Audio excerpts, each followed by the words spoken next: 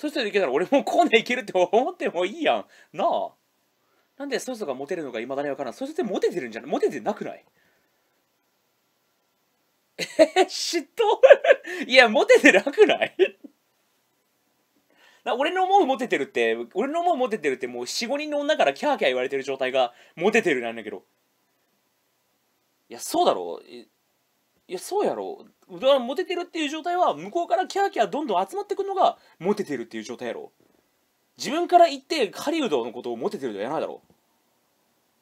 女に困ってない状態がついてるのはモテてるって判断していいやろ。いやなあそうだな。その世な初めての彼女と結婚したらモテてることになるよな。だよな。だよね 嫉妬ダサいやこれ嫉妬とかじゃなくてちょっとモテの範囲がちょっと考え方の違いじゃないかこの集団モテに対する免疫なさすぎだろ 絶対34人の女から一気に言い寄られてる状態がモテてるやろだモテキっていう漫画見たらわかるよ。モテキっていう漫画はなんか急にいろんな女と付き合えるような気持ちが出てきて、2、3人、急に3、4人の女との関係性が出たからモテキっていうタイトルになってるわけやんか。モテキ論がもうモテてないよ、なんか。彼女持ち着込んでるだけでモテてるはさすがに童貞もあれだし、だよな、絶対そうだよな。そんな状態は普通に生きてて発生しないだろう。だからモテて、普通に生きてて発生しないかもしれないけど、その中でも特別なやつがモテてる状態だろう。だからモテてるやつがモテてるって言うんだよな。そうだよ。そうそうそう。この議論やば、めっちゃ臭いじゃん。着込んで女寄ってきたんならモテたろいや、ち、違わ。ない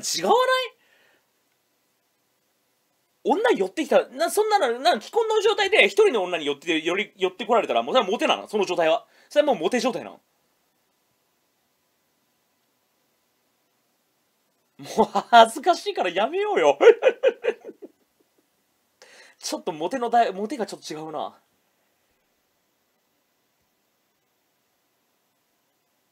モテてるってガシのフォルゴレみたいな感じだろ。それ。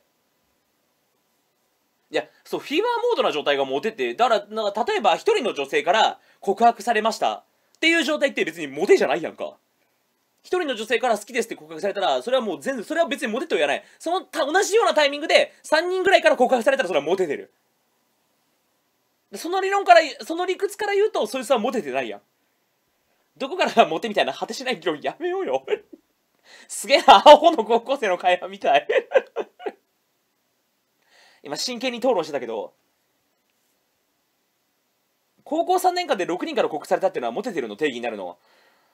いや絶対同体タイミングだろ？負けの物の会話やめようよ、もう。ああ、今週のジャンプのな、今週のジャンプヒーローアカデミア売ってなかったな。